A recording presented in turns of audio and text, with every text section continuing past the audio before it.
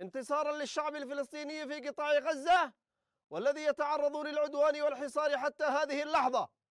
وضمن الرد على العدوان الأمريكي البريطاني على بلدنا نفذت القوات البحرية في القوات المسلحة اليمنية بعون الله تعالى عملية عسكرية نوعية.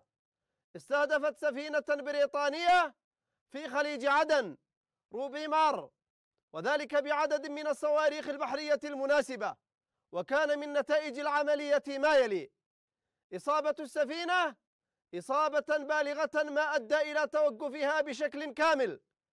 نتيجة الأضرار الكبيرة التي تعرضت لها السفينة فهي معرضة الآن للغرق في خليج عدن.